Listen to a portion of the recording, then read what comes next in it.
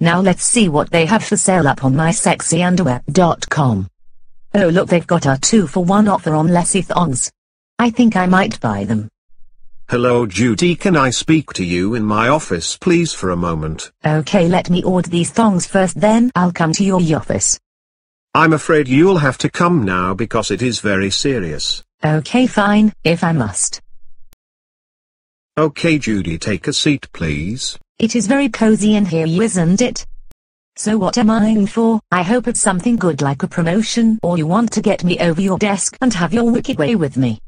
No it isn't that you stupid woman, I have brought you here to tell you that you're fired. What? Why?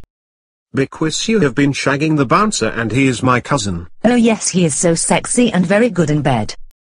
Get the hell out of my office and out of this building now. Okay fine I am going, I hate it in here anyway and your office smells like cat wee. See ya smelly bitch.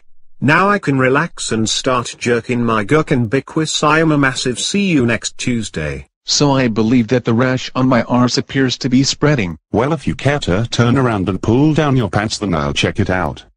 I didn't even want you to look at my arse. You're gay. Oh hello Judy, wet wrong. Your cousin knows about us and now I am sacked. Well you're a skank anyway and I only fucked you because I was hoping you get the sack. You bastard.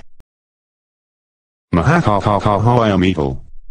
FRT, that spells fart and I have just done one, now I am going to hump the water machine.